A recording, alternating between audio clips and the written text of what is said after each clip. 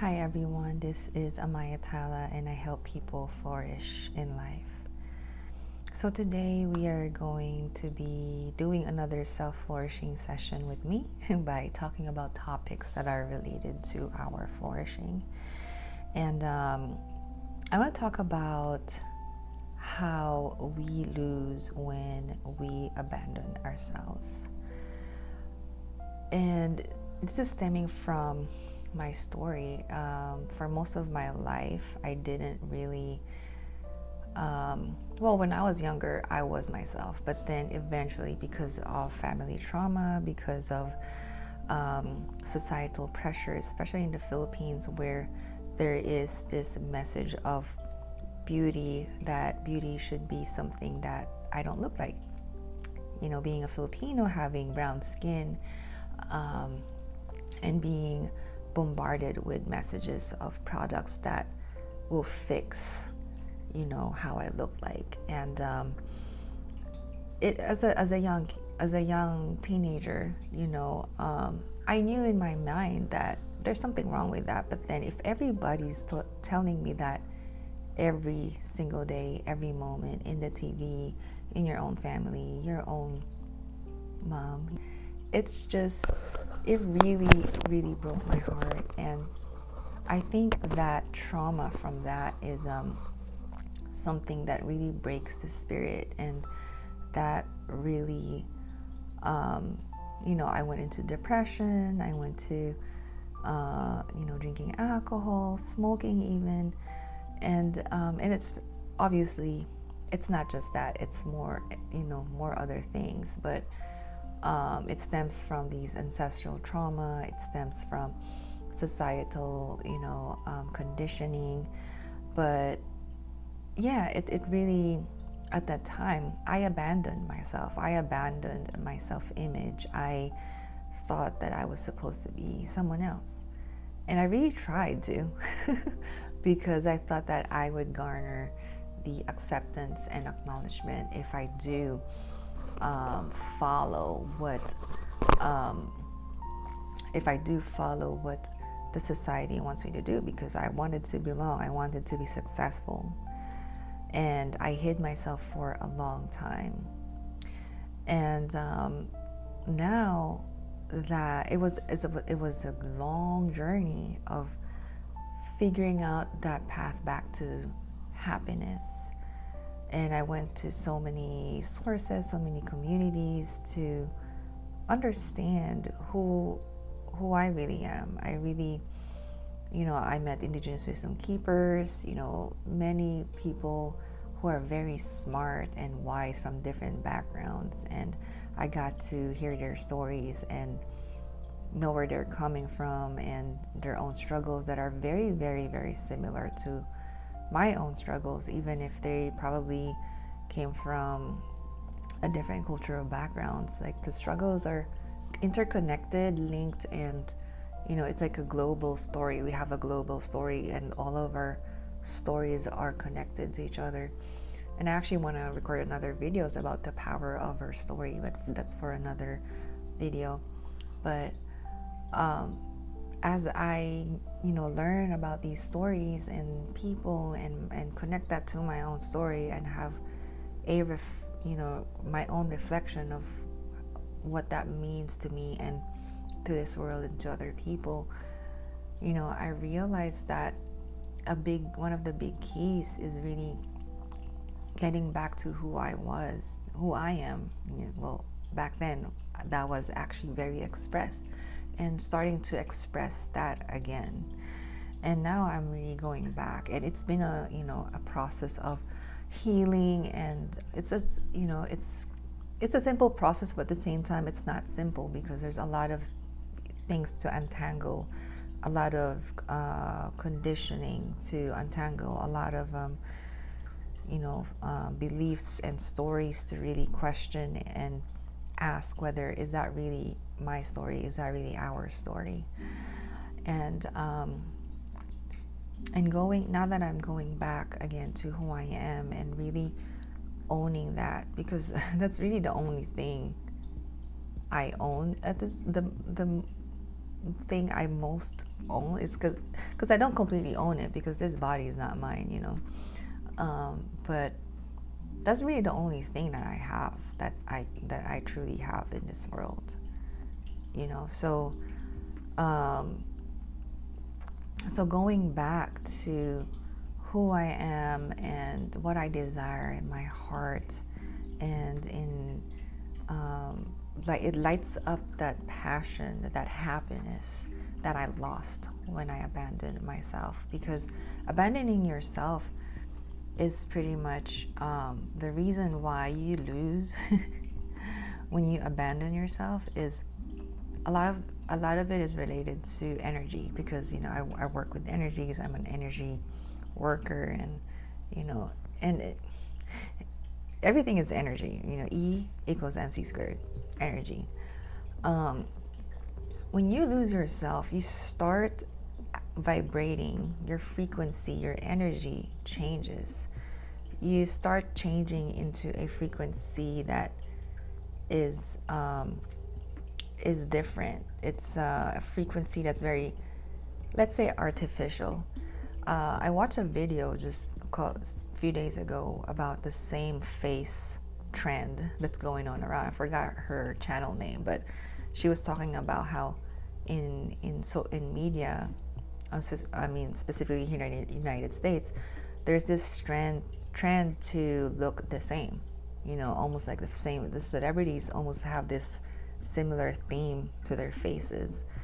And I'm not, you know, I'm still not immune to all of those things. I probably also still am influenced, but but we're talking about it, right?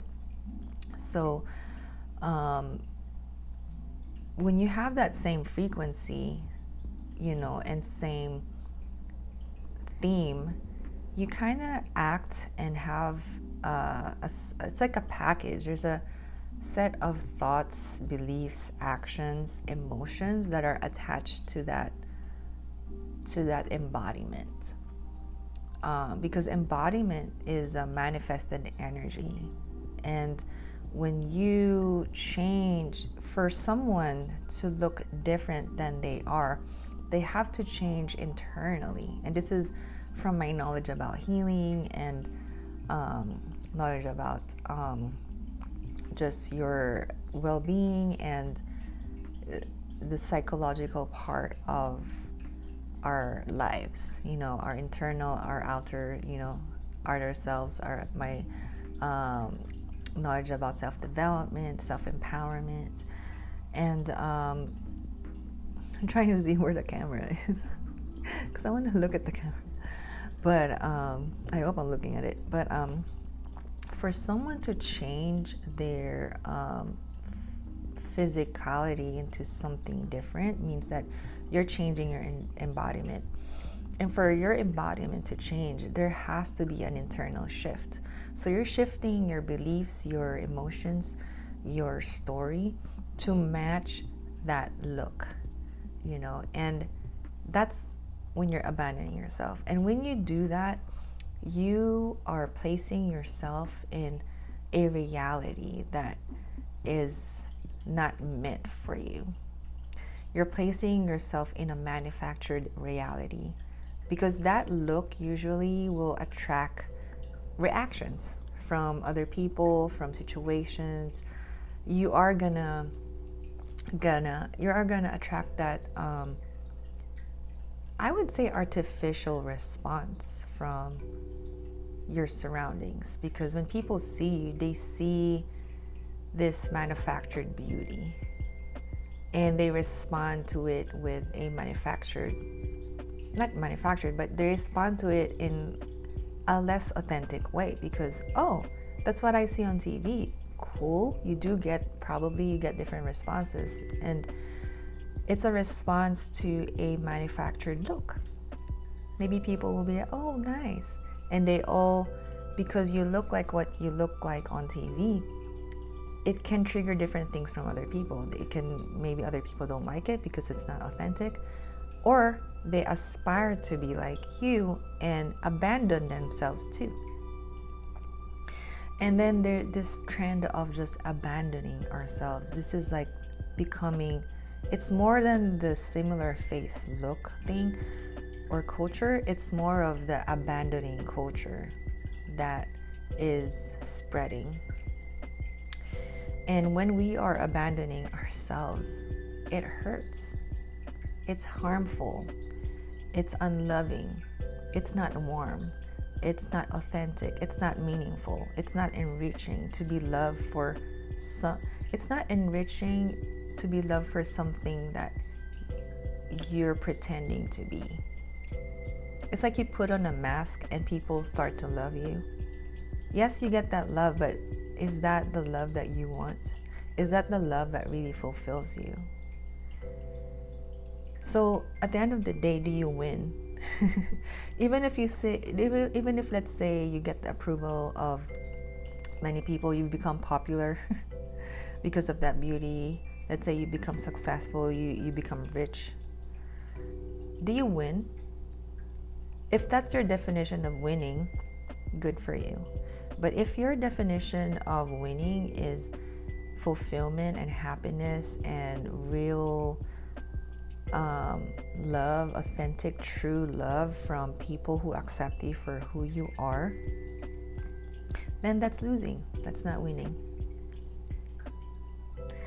And, you know, and with our imperfections, you know, that video that I watched talked about how you can leverage or use your imperfections or uniqueness as your strength. Because that's what makes you amazing. Just like you know with mother earth like nothing is perfect and that's what makes a lot of creatures very beautiful and amazing and they live a different life because of their design. And that's another thing when you are not embodying who you are supposed to be including your imperfections you are not living the reality that you're meant to have and that your soul and heart is meant to experience. And now that I am embodying more and more who I am, I mean it's still it's a journey, it's a process and I'm still in that process too. But I am seeing the more I am seeing more loudly and clearly the difference of the life that I live when I am being authentically myself. It lights up the fire within me to do the things that I actually love to do. And the passion comes back, the happiness, the fulfillment. Even if everything's not perfect, even if I'm not perfect, the fulfillment and the alignment, it's like a it's like a puzzle piece that kind of comes to, that snaps together is the feeling that I get. I don't know what emotion that is, but it feels like it fits. And now I'm starting to see opportunities that aligns with what I love to do. I'm starting to see people who appreciate what I do. Um, and I'm starting to, it's just everything is, ref, my external world is starting to reflect my internal world that is authentic to who I am. And it just feels so freaking good. It feels just this is how it's supposed to be. So now I feel like I'm really winning because even though maybe it's a hard road to get here, because the transitioning part is a whole other video because it's like you lose when you embody yourself, you lose that old life. You lose people, you lose, you know, situations, you lose other opportunities that you thought was for you, but it's not really for you. And that transition is like very, very difficult to go through. But it, it takes a lot of um, a sense of a big, a huge sense of surrendering and really knowing the process. But now that I am like going into more of like I feel like the calmer water waters, even though it's not really perfect. I mean, nothing's perfect. It's okay. And you know, your own reality, your own the re- reality that's meant for you would have its own challenges, you know. So there will always be opportunities for growth. But um but now that I'm more of like let's say in general or in this area more calmer waters, I can see that that my life is starting to just reflect who I am. I'm able to have spaces where I can just be who I am. And even though, let's say, I'm not really famous, famous, just the fact that I get this opportunity to just be is just the win. It's a win. And it's a win that is very simple, like as a blade of grass, as a blossoming flower. They're very delicate and un. It's not like fireworks. There's nothing wrong with fireworks, but it's they're not like fireworks. It's like this wind, this fulfilling, gentle, fragrant, beautiful wind. and it's because I'm starting to go back to who I am. And um, this is something to think about, um, especially with a lot of um, influences around us. What messages are you really going to follow?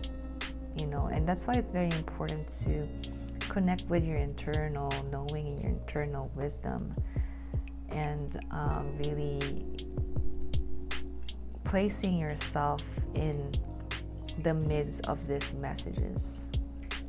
You know, where, where, what's your say, you know, from internally? What does your soul want? And these influences that may be not good for our well being are very loud. And usually our inner knowing is very subtle. That's why it takes, sometimes we need that silence, sometimes we need that break to be able to listen to that and to be able to really hear ourselves. Because a flower doesn't shout, a blade of grass doesn't flaunt. It just is. There just are. And so, with the other influences and messaging that we're getting from social media, from TV, they're very loud. And so, um, that's the reason why you know, connecting with nature, going to walk outside, really reflecting in yourselves, journaling. Those are the things that and tools that are going to help you make sure that you are choosing the messages that you want in your life. Because messages are visitors. messages are tools. Messages are um, just like language or words, they are very powerful. And they are tools that don't get to run your life. You run your life, and therefore you choose the messages that you want in your life. That's your divine right. You live your life, and you're the only person who's supposed to be managing your life. And and that's very related to the sense of empowerment that are um, I think the camera's right there. that is um, related to the sense of empowerment that we need to cultivate within ourselves because we do need to um, have that sense of um, kind of like strength to be able to say that it's enough. It's enough. I live my life and this is what I want. And I will only allow things that support me and who I really am to be in my space. You know, and there's also a sense of self love that needs to be there.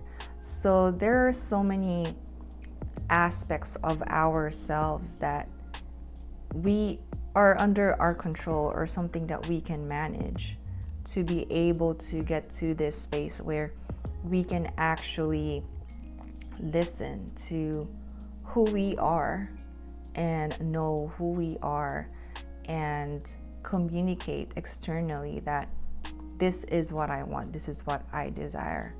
And when you do that, I mean, it is it's a long process and it is a process of self healing and, you know, um, all of those things, which, which I do help with people if that's what you would want in your life. I definitely offer that service, but you can also, you know, do that yourself or whatever calls to you you think is um, something that will really or someone who will really help you. There's a lot of resources out there and in youtube as well you know? So it is a process of self uncovering and discovery and uh, self going back to the self.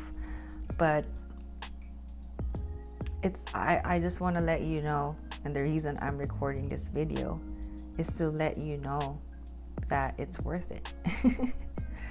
and it's very much connected to the type of world that we want to that we want to build. You know, it's a world where all beings are respected and it starts with us respecting and acknowledging ourselves and who we are. So, and when that spreads, and when you cultivate who you really are and what you're made of and your innate gifts that nature bestowed in within you, your ancestors passed to you, when you're able to develop those things and create from that place, then you will be able to create help create a world that nature has meant for us as a collective to experience. And what a world is that going to be? It's not just going to be a win for yourself, it's going to be a win for other people and the community. Just to be uniquely you. So, um, yeah. Let's see what else is coming through. Yeah, so that is what I want to share for today, and I hope that this brings some sense of inspiration and um, something to just think about, something to digest. And um, I hope that we um, yeah we we grow from this channel that we flourish from this channel and that's my intention for this channel. And yeah i hope that this is helpful. And if it did resonate please subscribe and like this video so that our community will spread and our love and vibes will spread. Thank you for supporting this channel and thank you for being here. And yeah until next time i hope you have magnificent magnanimous beautiful present moment and present life. Till next time.